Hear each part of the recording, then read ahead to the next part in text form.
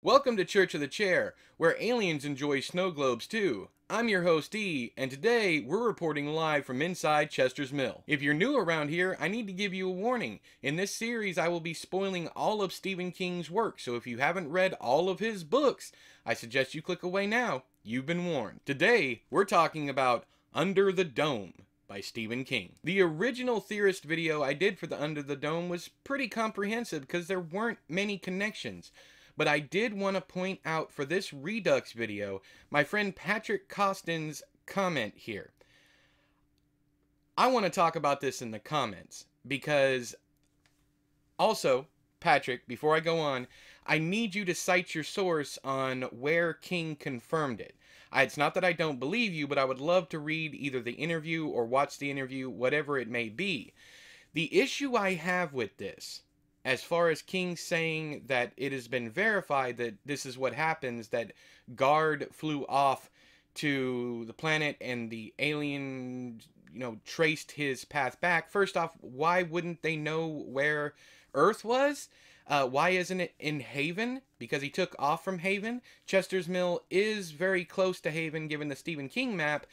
But yeah, I just need some more info here. But the problem I have with this theory, even if King verified it, is the fact that King only wrote the opening cha- chapter of Under the Dome, which was originally called The Cannibals, in the 70s, but he put it aside before he ever even got close to the ending of the book. Now, maybe he had it in mind all along, and yes, he would have wrote it before the Tommyknockers, that opening section, I believe it's called The Chipmunk in the Plane or something like that. He wrote that opening chapter well before Tommyknockers, but he never got any farther. So as far as a timeline, there are there are problems with that because he didn't finish it.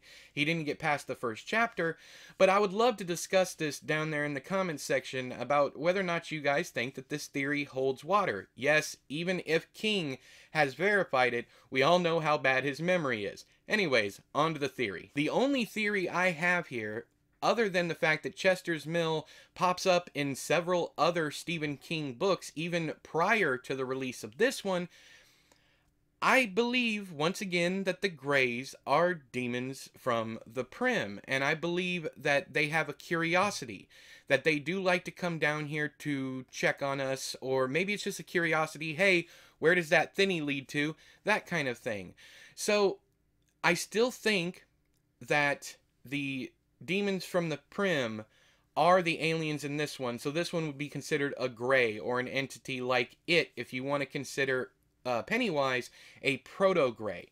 Now, does it mean that all of these entities from the Prim have to be evil? No, I wouldn't I wouldn't say so because Maturin existed at the same time as Pennywise or the entity known as it and Maturin is a good guy why can't there be Greys that are good guys?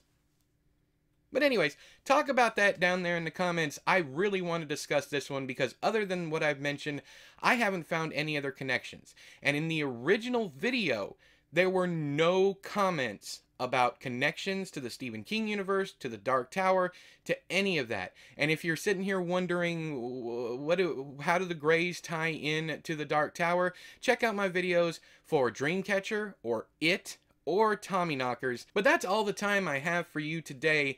If I missed anything, if you have any corrections for anything I said in this video. If you have theories of your own, please, please, it's especially important with these books that I have problems connecting down there in the comment section. Also, Patrick, please cite your source. I need to know. I trust you, man, and I need to know where you got that information, even though it has been, uh, it's been two weeks. So hopefully you remember, you know, where you got the information. But until next time, All hail the chair.